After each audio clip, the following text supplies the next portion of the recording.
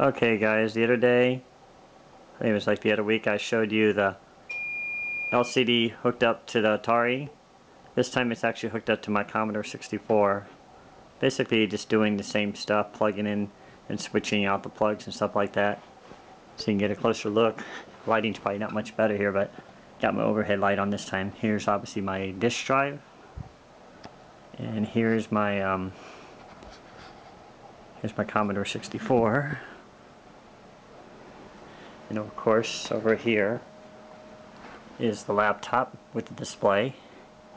Probably see a little bit better. Running the display there with that Commodore 64 screen. And then over here, of course, is my Samsung VCR. I guess this will be a shorter one. Hopefully you can see the plugs this time. I'm gonna, gonna move them around a little bit here. Here's the plugs on the back of the VCR.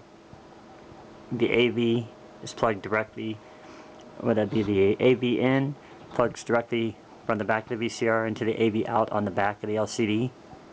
And then I actually have um, right here, this is actually a plug that goes directly from here all the way over to the Commodore computer. Basically it's just a monitor plug. And then there's a cable obviously, just like last time, running back here over to the converter, which um, it's an HD, HD TV. Let me look at Pinnacle HD TV uh, converter. They might still sell those. I bought that a couple years ago. Of course, over here is the big LCD screen running the Commodore 64. So you've kind of seen all that stuff over here. Some diskettes, of course. I never parted with my Commodore 64. I've kept it for over 20 some years. Had it in storage and just decided to pull it back out. So I got a game kind of loading up here. I'm going to kind of start that here. You probably see it loading the screen there. It's the old load screen. Basically loads a machine language program. And this is Techno Cop. See it over there? And on the monitor, see both right there. Kind of an old game. It's got some pretty cool music though.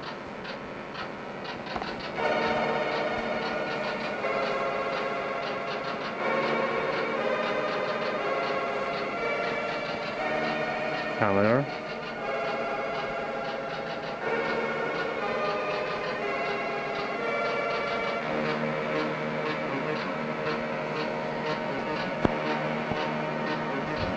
Zoom on this.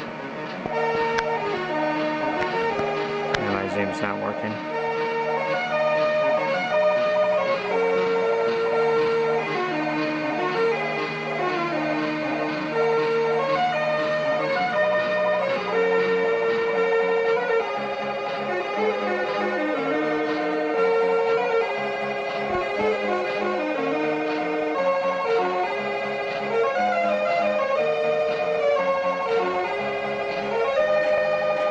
Start this one because the music kind of repeats over and over again.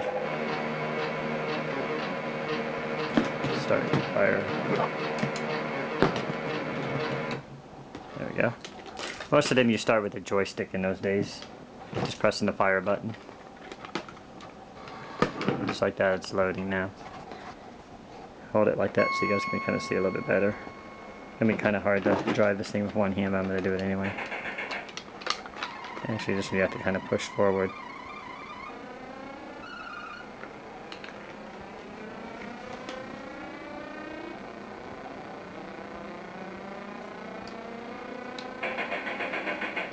Just shoot these cars. So, you can bump them off the road.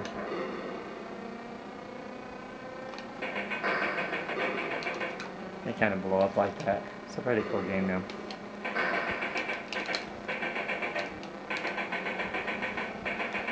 Of revolutionary for Commodore's beginning though.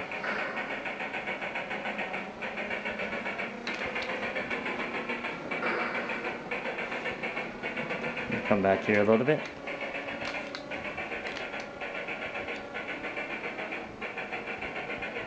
And see the whole display now.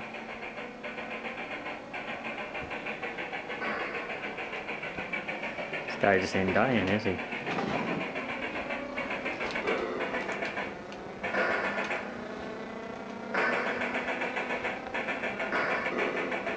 It's alright to hold the camera with one hand.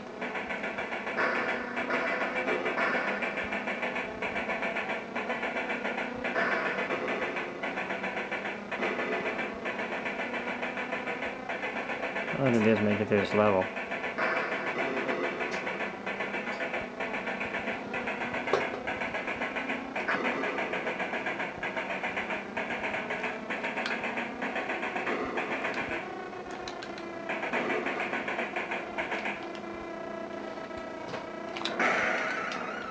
I gotta wake up. Anyways, that's the Commodore 64 running the LCD.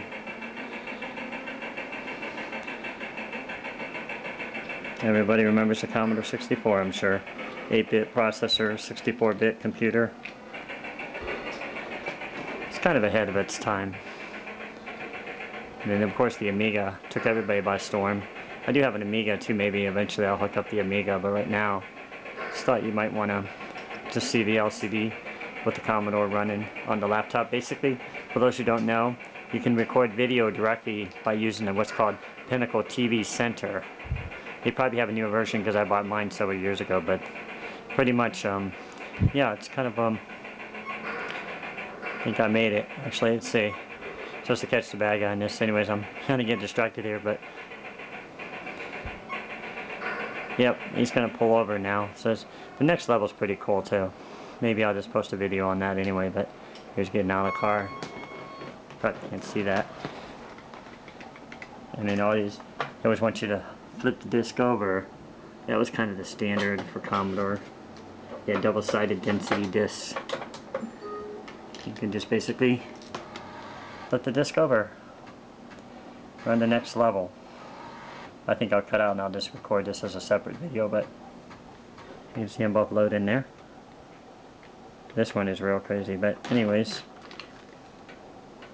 you kind of just navigate through this little section. Yeah, kind of a split screen going there. I forgot how to even play this game. Killed me already. But that, that'll be it for now. So once again, Commodore 64 running from the laptop to the LCD.